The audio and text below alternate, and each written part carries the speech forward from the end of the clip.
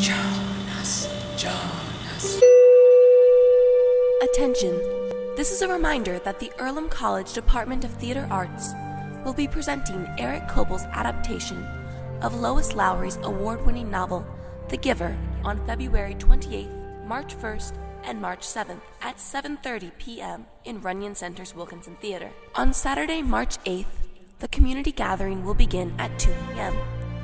Visitors are invited to stay after the performance for a family playdate chock full of creative dramatics and theater games. For tickets, call 765 983 1474.